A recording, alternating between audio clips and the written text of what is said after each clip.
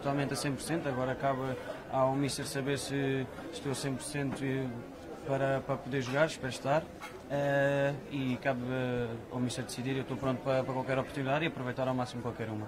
Como é que receber carinho dos adeptos aqui em propósito para aqui tirar uma foto connosco? Não, é ótimo, é, é uma felicidade enorme ver este carinho que, que os adeptos têm, têm connosco e nós fazemos tudo e tentamos fazer tudo para que dentro do campo uh, demos grandes alegrias aos adeptos. Já teve ali uns, 20, uns minutinhos para, para começar a ter ritmo competitivo, mas imagino que esteja com, com fome de bola. Não é? Como é óbvio, como estive ilusionado durante muito tempo. Uh, passei uma fase difícil, mas isso já, já é passado. Espero voltar ao, ao meu nível, que, que eu sei bem o que é, e, e poder dar grandes alegrias e poder ajudar a minha equipa.